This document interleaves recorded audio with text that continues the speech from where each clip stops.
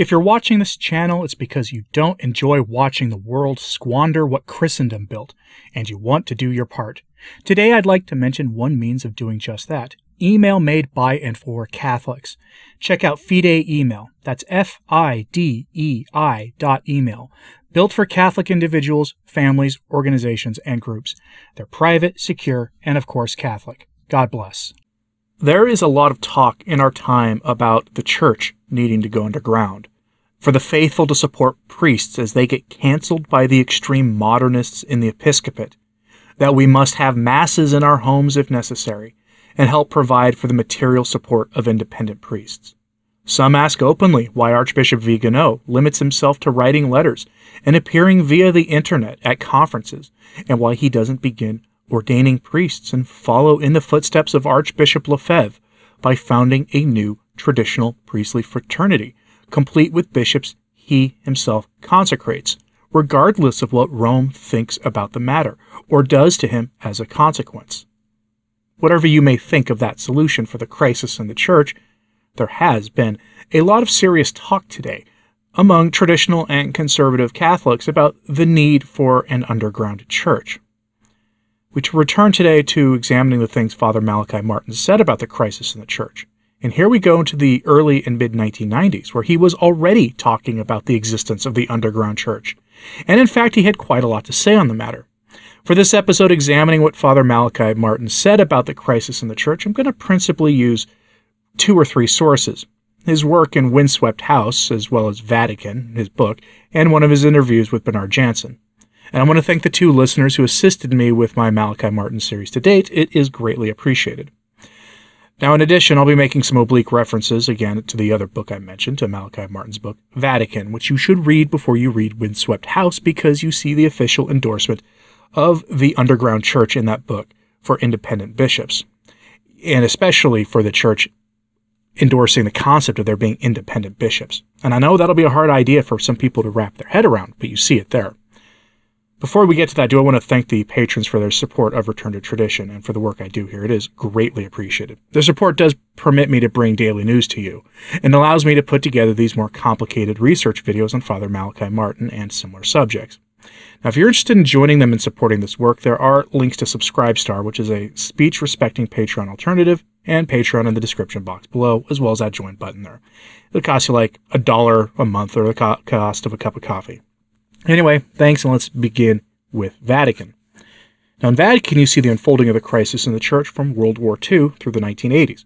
The chaos of the Vatican II years, the presence of stonecutters and theological progressives in the church pushing for so many so called reforms, that the end result is scarcely recognizable as the same faith as what the church professed before the council.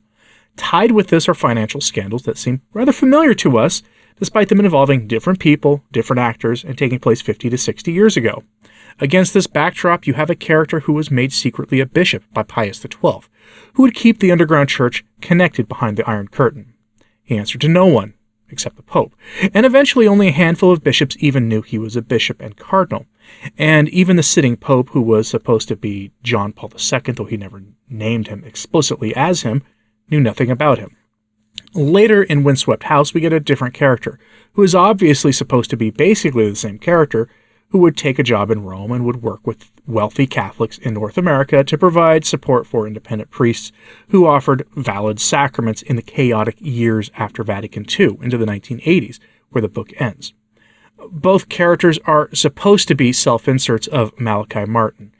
Leave with those things he says in those books, as well as things he said elsewhere, leaving many to speculate that Father Malachi Martin was really Bishop Malachi Martin and was consecrated such by Pope Pius XII making his leaving the Jesuits and his work as a layman some kind of essential cover. Now, those are the things with spy novels and such, but that is what people speculate about, and to be fair, there is some evidence that that's actually true. In those books, the priests constitute an independent church, and the Vatican knew about them, but did nothing because they had the support of a wealthy and politically powerful family in Texas. But the independent underground church was fully Catholic. The Vatican is like Windswept House in that it is a work of faction, meaning 99% fact with a few bits of fiction to make the story work as a readable story, with largely the names of important figures changed. It wasn't only in his written works, though, that Father Malachi Martin addressed the concept of an underground church. In the following clip from an interview he gave with Bernard Janzen in the 1990s, he speaks about an underground church as if it already existed and needed to exist at that time. By that time, he had lost his trust in the popes of the post conciliar era. All of them. I'll return to that in a moment. First, Father Malachi Martin. Now, we have uh, alluded to it in our conversations up till now, and uh, actually there was in Windswept House a uh, proposal for an underground church by Ceci. What role does this underground church play? It plays this role. It provides for a limited number of people a valid mass and valid sacraments. That's very important. But it's only for a certain limited number of people because the, the, the, the ministers, the priests and bishops in the underground church are few. The numbers are huge on one side and small on the other side. So from the point of view of numerical significance, none, whatever. But there is this constant thing which is bugging, if I use that awful word, uh, which is bothering the conciliarist church, the normal bishops, that they're attracting more and more people when they can't attract people. And they're attracting vocations to their seminaries when the bishops can't get vocations. Now, of course, we know that some bishops don't want vocations. They're discouraging vocations because they don't want priests any longer. But those are the apostates. That's what their, that's their function for Satan and for Lucifer is to discourage priesthood. Now, what's going to happen? Uh, what's going to happen is that the church is going to be marginalized more and more. The organized church is going to have its usual crowd of people, never very great. It's not going to have much religious influence. It has very little grace, supernatural grace about it. It's going to have less and less vocations, and they're going to have priestless parishes. They have them already, and they're going to have much more than that. And therefore they're going to be diminished in number and in revenue, and in revenue. And the religious orders are going to go on having very few vocations, the Jesuits. What is they ordained one man last year or something like that? Something dreadful. And the Carmelites and Dominicans, the same thing, a dearth of people. And as for the nuns, forget it, except for certain religious orders. We're not going to have any nuns orders, religious orders. After about 20 years, there will be only one or two big ones, and then a sprinkling of small ones, and it's all over. We have no orders of nursing sisters or missionary sisters coming up. They're dying out they're dying out. Note that he separates the underground church from what he calls the conciliar church, a term I know you've heard because people use the term conciliar church all the time. What he really is describing in this and the next clip is that the mainstream church, the conciliar church, is the ape of the church already in the 1990s. Now that's a bitter pill to swallow for many, but clearly Malachi Martin believed that. And note what he says about the religious orders, because that'll hit home for you. Not only are they fading away, but the traditional ones are thriving, and Rome seeks to crush them. And sadly, that's nothing new. I've read news stories from the papacy of Benedict XVI where Rome was going after traditionalist religious orders the same way Francis does today. Whether that was being done by Benedict or by the St. Gallen group and their henchmen in the Roman Curia, who were reported to have basically total control of the Roman Curia, regardless of who was sitting on the throne of Peter. I'll leave you to decide, since I have nothing definitive about that either way, but the point here is this. The underground church exists already, at least according to Father Malachi Martin, and has existed since the 1980s at least. But here you'll see him say something that will bother even more people that the SSPX are a part of the underground church, though they're, they are certainly not the only priests of it. Now let's um, discuss uh, what the um, components of the underground church is. Uh, we just talked about the Society of St. Pius X. Are they part of the underground church? Yes, they are. Mostly they're underground. By underground, I mean not official, not official, functioning with without any approval of the church authorities. Uh, then there are, apart from them, there is the Pius V organization, which is the same status, same condition. They have valid bishops. Now, is there a situation then where another element of the underground church is, let's say, retired um, bishops and priests who, who are training seminarians in secret. That's there. The one seminary is composed completely of retired priests who are retired professors, who are told to be retired, who, who are full of energy at the age of 75 and didn't want to retire at all. They wanted to teach, teach good theology. So they do. So they're in it. Uh, then I suppose there are minor organizations like the former followers of Father Feeney will be reckoned underground because they don't belong to the official church. They're there, they're tolerated, but they don't belong to the official church. And they always have the traditionalist mass. They don't have the other mass. Um, that's roughly is the underground church. Um, You also, I think, have, uh, and I, I've known some priests who have, let's say, um, a parish, Oh, yeah. and they function in that parish, but also they're saying um, mass in a clandestine way for uh, small groups of people. Single priests, sure. I think wasn't there a um, um, a precedent for that in the Protestant Reformation? Some Sure. Anglican priests continued to They- function in they a do. clandestine way. And, and they do that today.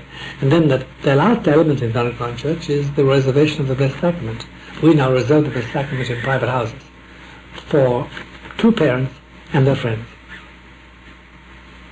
And they keep it there, they know how to deal with it, they know how to keep it clean, they know what, when to renew it, to go to the priest who will renew it for them. So we have the, they have the Blessed Sacrament because they say we haven't got it in the church. Mhm. We can't make a visit. We can't make a, we can't have exposition of the Blessed Sacrament. And some of them are little monsters. They have exposition for a small group. It's always limited. And uh, it's very hard to find out where it is.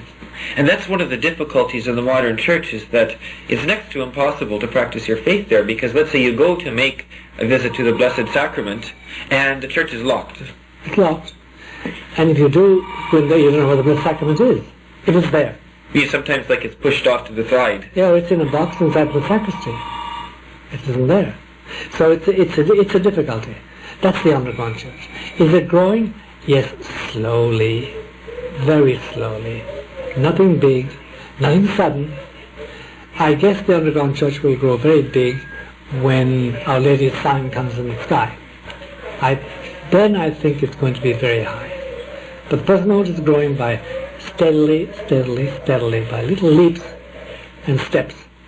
And um, if the bishops of this country alone, forget Canada, knew how influential the underground church was, uh, they will really be, they get very upset. They get very, very upset. So um, perhaps though God is keeping uh, the underground church small um, for reasons maybe that we don't understand, just like in let's say the Old Testament, a remnant has kept the faith uh, during right. difficult times. That's right, that's right. Yeah, I think so. But uh, anyway, you see, Bernard, the belief of the Catholic Church has always been until the present moment that the number of the saved is a minority, not a majority, a minority. Now you go and tell the normal priest today that, or tell the local bishop that, and they'll spit at you. Because that's very unpopular doctrine today. But didn't our Lord himself say that? Well, yes, but he, our Lord said, said a lot of things, but now the church knows better. This is the argument anyway. None of the majority would say that, uh, I mean, the majority would say that the majority of, of believers, the majority of people are saved. The present Pope would say that every man at his conception is saved. He would say that. He gets grace at his conception. The Pope that he was talking about there, that present Pope, was John Paul II, whom Malachi Martin had had positive, hopeful feelings about in the 1980s and into the early 1990s, until a visit with him face to face, which changed his opinion of him for the worse. The talk of the sign in the sky was something I've covered before, though. While Malachi Martin was a believer in Garabandal, which has never been approved by the church and even the local ordinary had rejected it, the sign in the sky is something you'll find throughout Catholic prophecy going back to antiquity. It's certainly not unique to Garabandal. The basic idea is that in the final days before the chastisement, where God restores the Catholic faith to full glory for the world to see and destroys the servants of, sa- the servants of Satan in one fell swoop, a great sign will appear in the sky for all mankind to see. Some suggest that the sign in the sky will be a repeat of the miracle of the Sun of Fatima on a worldwide scale. Others think it will be an unmistakable sign of the cross in the sky. Regardless of what it will be, all will recognize it for what it is, and they will know where they stand with God in those final days. Some will repent, but not many. But repent to what precisely? Remember, if there is an underground church, then it's functionally separate from the ape of the church, And according to Malachi Martin, few are members of it. And that is what Malachi Martin is talking about here. The conciliar church, the post Vatican II church, as the ape of the church itself. He goes into that more throughout his work in his interviews with Bernard Janzen and others, where he talks about how he thinks the sacraments in the post Vatican II church are doubtful for a lot of reasons. But the most basic reason, because the ordination of the priests themselves are questionable. He has doubts about the right of the validity of the rite. But we've seen hints at this basic possibly being true for different reasons in our time. You remember those stories about the invalid baptisms? How many of the faithful were not baptized in the manner the church has taught? How many of the priests? It's a question that we'll never be able to answer, and Rome has never wanted to answer. The subject of invalid sacraments is a touchy one, but let me know if you want me to bring you what Father Malachi Martin said on the subject in a future video. And that brings me to this. My next episode examining what Father Malachi Martin said of the church, state of the church can focus on really one of two topics. Either the question of the sacraments, including Father Malachi Martin's thoughts on Quo Primum, or the Jesuits and what happened to them and their role in the subversion of the church. I wanted to get to the, the Jesuit subjects done for June, given what the secular world is celebrating now. I figured that would be sadly appropriate and in a funny and a kind of dark way, given what the Jesuit order preaches. That video will feature a piece of information I have that no one else has found or presented publicly that will all but exonerate him of the nasty things people have said about him, and I'm getting it from an unimpeachable source. But if you prefer, I can cover what Malachi Martin said of the sacraments in the next episode of this if you want. Again, a special thank you to the listeners who helped me put together this episode and the information about Father Malachi Martin. It is greatly appreciated, as well as thank you to the patrons of the channel for their support. That is appreciated as well. But let me know what you want in the comments, please. And like and subscribe if you haven't. It does help, as does sharing this on social media. That helps a lot too. As always, pray for the church. I'm Anthony Stine. Ave Maria.